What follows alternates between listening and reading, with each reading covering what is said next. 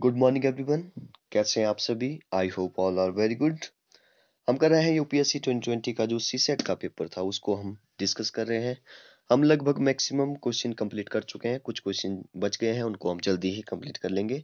आज हम करेंगे क्वेश्चन नंबर 59 और तो चलिए स्टार्ट करते हैं। क्वेश्चन नंबर 59 से, जो कि काफ़ी अच्छा क्वेश्चन है a vessel full of water weighs 40 KG ठीक है?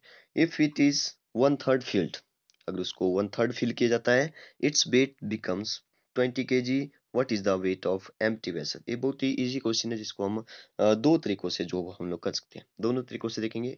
चलिए इसको एक बार जो वो हिंदी में देख लेते हैं क्या लिखा है। हाँ ये बोल रहे कि पानी से भरे हुए एक बर्तन का जो भार है वो फोर्टी के जी है। ध्यान दीजिए, पानी से भरा हुआ बर्तन है। उसमें जो है वो बर्तन का भार भी जो वो यहाँ पे लिए गए हैं। क्योंकि पूछा ही खाली बर्तन का भार है, इसका मतलब है कि खाली बर्तन का भार भी हम हमें जो वो इमेजिन करके चलना पड़ेगा।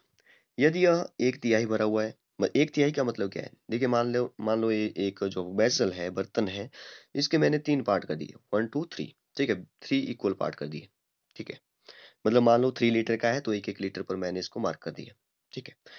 वन थर्ड का मतलब है कि उसका थर्ड पार्ट जो वो मैंने फिल किया। थर्ड पार्ट का मतलब है कि तीन में से एक हिस्सा, एक पार्ट जो वो मैंने फिल किया हुआ है इसका। ठीक है? तो ये बोल रहा है कि इसका भार, अगर मैं इसको पूरा भर दूँ तो इसका भार है फोर्टी के जी इसमें जो वो इंक्लूड कौन क्या होगा? बर्तन का भार भी इसमें इंक्लूड होगा। ध्यान दीजिए बर्तन का भार और वेट ऑफ़ वाटर और वेट ऑफ़ वेसल दोनों जो वो इसमें इंक्लूड होंगे फोर्टी के में। ठीक है। इसने बोला कि अगर इसको वन थर्ड भरा जाता है तो ट्वेंटी के होगा। मतलब कि अगर इसको ही मैं भरूं तो इसका जो भार है वो ट्वेंटी के है। अब देखिए इसको ऐसे नहीं कर सकते कि ट्वेंटी है यहाँ भी ट्वेंटी है यहाँ भी ट्वेंटी है तो सिक्सटी होगा, सिक्सटी माइनस फोर्टी, ट्वेंटी। नहीं, गलत हो जाएगा, ट्वेंटी जो वो इसका आंसर बिल्कुल भी नहीं होगा। ठीक है, ऐसे नहीं कर सकते क्योंकि यहाँ पे जो वो बर्तन का भार भी यहाँ पे इंक्लूड है तो बर्तन का भार भी हमें लेकर के चलना पड़ेगा। अब इसने पूछा कि खाली बर्तन का भार क्या है? अब देखते हैं, एक तो तरीका है हमारे पास जो एक इक्वेशन बना दी इसकी, जो भी दिया गया है, उसके साथ जो वो उसको सॉल्व करने तो चलिए उसी के साथ जो वो पहले इसको सॉल्व करते हैं, क्या आंसर होता है? देखिए, मैं यहाँ पे वेट ऑफ़ जो एम वेसल है, उसका मान लेता हूँ। मतलब वेसल का मतलब उसमें पानी नहीं है तो उसका जो भार है, ठीक है, वो कितना है? तो वेसल मतलब कि वी से स्टार्ट होता है तो बी मान लिया मैंने weight of weight of vessel ठीक है वी मान लिया। और वेट ऑफ़ वाटर मान लिया मैंने डब्ल्यू अब इसने क्या बोला था कि V और W मतलब कि वेट ऑफ़ वेसल और वेट ऑफ़ वाटर जो वो कितना है? 40 ठीक है? तो फ़र्स्ट इक्वेशन मेरे पास बन चुकी है। अब दूसरी बार इसने बोला कि इसको जो वन थर्ड अगर फिल किया जाता है, इसको वन थर्ड फिल किया जाता है तो उसका जो भार है, उसका जो वेट है वो कितना हो जाता है? ट्वेंटी के हो जाता है। तो देखिए जो खाली बर्तन है, खाली वेसल है, उसका तो वी ही रहने वाला है, क्योंकि हम हम लोगों ने वी इसको माना था। अब देखिए वाटर जो वो कितना फिल किया अब? वन थर्ड मतलब कि जितना उसका पूरा था, पूरा कितना था? डब्ल्यू था डब्ल्यू का वन थर्ड मतलब कि W upon three W upon W क्या है? डब्ल्यू है वेट ऑफ़ वाटर तो इसका जो वेट है, वो कितना हो जाएगा? ट्वेंटी हो जाएगा। ठीक है? ये दोनों इक्वेशन जो वो हमारे पास गिवन थी ये दोनों बातें जो वो हमारे पास बताई गई थी। तो इसको मैं फ़र्स्ट मान लेता हूँ, इसको दूसरा मान लेता हूँ। आपने जो वो टेंथ क्लास में जो वो एक मेथड पढ़ा था, विलोपन विधि सब्सिट्यूशन मेथड मतलब कि एक इक्वेशन को दूसरे से माइनस करेंगे। या तो सिंपल है, बी से बी जो वो कट जाएगा। तो इसको जो वो मैं फिर से एक बार लिख लेता हूँ ताकि आपको कोई प्रॉब्लम ना रहे।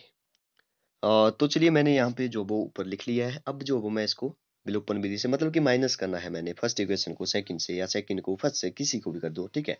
आंसर जो वो एक ही आने वाला है। यहाँ से देखिए, या तो वी की वैल्यू निकलेगी या तो डब्ल्यू की वैल्यू निकलेगी।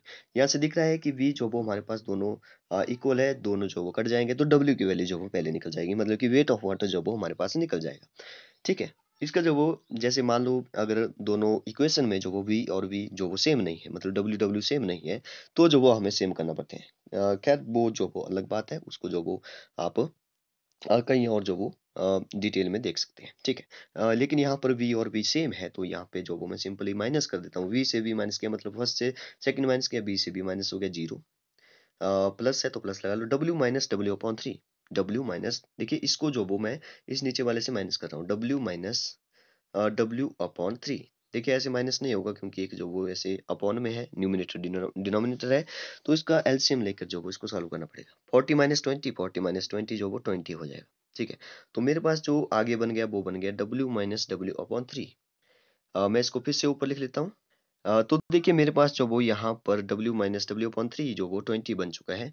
अब देखिए मैं इसका एल्सियम लेता हूँ। एल्सियम जो वो तीन यहाँ पे वन है तो जहाँ कुछ नहीं है, वहाँ पे वन होता है। थ्री और वन का एल्सियम आ गया थ्री थ्री को वन से डिवाइड करेंगे डिवाइड करेंगे तो थ्री आ जाएगा। थ्री को ऊपर मल्टीप्लाई करेंगे। अगर आपको एल्सियम लेना नहीं आता है तो एल्सियम पहले सीख लें। देखिए ये जो ऐसे क्वेश्चन होते हैं, जिन जिनके लिए, जिनको करने के लिए आपको छोटी छोटी बातें भी पता होना चाहिए। ऐसे आप डायरेक्ट इनको सॉल्व नहीं कर पाते। तो थ्री डब्ल्यू आ जाएगा एलसीएम लेकर के मल्टीप्लाई करके माइनस जो वो यहाँ पे थ्री से थ्री डिवाइड हो जाएगा one minus W W equal to twenty अब देखिए यहाँ पे क्रॉस मल्टीप्लाई कर देते हैं, इसके नीचे कुछ नहीं तो वन थ्री यहाँ पे ऊपर चला गया तो कितना हो गया?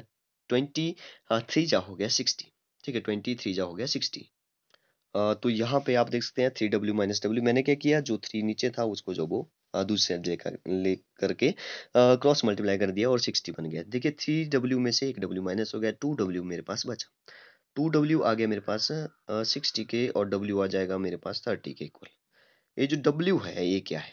ये जो डब्ल्यू है ये है हमारे पास वेट ऑफ़ वाटर अगर वेट ऑफ़ वाटर थर्टी है तो इसने बोला था सबसे पहली आ, आ, पहले पहली बात तो इसने बोली थी कि जो फुल ऑफ़ वाटर का जो वेट है वो कितना है? फोर्टी के है। मतलब कि अगर वाटर का जो वेट है वो थर्टी है तो जो वेसल है उसका कितना होगा? टेन हो जाएगा। तो हमारा जो फ़र्स्ट ऑप्शन है वो सही हो जाएगा। अगर आप इसको डिटेल में जो वो चेक करना चाहते हैं तो आप जो वो, जो फ़र्स्ट इक्वेशन था, उसमें जो वो डब्ल्यू की वैल्यू डाल करके आपका जो वो वी निकल जाएगा। ठीक है? बहुत ही सिंपल है। अब एक तरीका है हमारे पास कि देखिए ऑप्शन को जो वो देख करके सॉल्व करना। देखिए फ़र्स्ट जो वो पहले जो वो इक्वेशन बनाने की, जैसे मान लो टेन वो हमारा सही आंसर है। मान लो टेन हमारा सही आंसर है। अब देखिए अगर टेन जो वो सही आंसर है। ठीक है? टेन जो वो सही आंसर है। आ, इसने बोला था कि जो फुल ऑफ़ वाटर का जो वेट है मतलब कि वेसल का जो वेट है जब इसको पूरा फिल किया हुआ है पूरा भरा हुआ है तो फोर्टी है। अगर मैं मान लिया कि जो वेट ऑफ़ एम्प्टी वेसल है वो टेन है तो फोर्टी माइनस टेन करके जो मेरे पास वेट ऑफ़ वाटर निकल जाएगा। फोर्टी माइनस टेन करके मेरे पास वेट ऑफ़ वाटर निकल गया थर्टी आ गया। ठीक है। तो अब देखिए, अगर इसको वन थर्ड किया मतलब थर्टी का वन थर्ड किया, थर्टी का वन थर्ड कर दिया मैंने तो कितना आ जाएगा? टेन। इस टेन का मतलब है कि देखिए, यहाँ पे आपने जो वो ध्यान से समझना है कि जो वेट ऑफ़ वाटर है, सिर्फ़ वाटर का वेट जो वो हमने थर्टी निकाला अब वन थर्ड किया तो टेन निकला। वन थर्ड किया तो टेन निकला। इसका मतलब हुआ वन थर्ड अगर टेन है तो ten plus ten plus ten. Ten plus ten plus ten. मतलब कि तीन बार प्लस करने के पर जो वो यहाँ पे थर्टी आ जाता है। जो कि बिल्कुल सही बात बोली है इसने कि फोर्टी माइनस टेन जो वो थर्टी आ रहा है। तो यहाँ पर भी वन थर्ड करने पर टेन आ रहा है ten plus ten plus ten करने पर थर्टी आ रहा है। मतलब कि हमारा जो फ़र्स्ट ऑप्शन है बिल्कुल सही है। लेकिन मेरे ख्याल से जो वो फ़र्स्ट वाला मेथड जो वो मतलब कि इक्वेशन बना करके सॉल्व करना जो वो सही रहेगा। क्योंकि यहाँ पे तो खैर सही अच्छा है कि फ़र्स्ट ही ऑप्शन जो वो हमारे लिए सही है। लेकिन अगर हमारे पास लास्ट होता तो क्या हम लोग पहले को चेक करते, फिर दूसरे को, तीसरे को? तो काफ़ी टाइम लगने वाला था। ठीक है? तो अगर फ़र्स्ट ऑप्शन जो वो सही है, तब तो ठीक है। तब तो आपकी किस्मत ठीक है। काफ़ी टाइम आपके पास बचने वाला है, लेकिन मेरे ख्याल से आपको जो वो दूसरे वाला मेथड से ही करना चाहिए। Okay thank you and have a nice day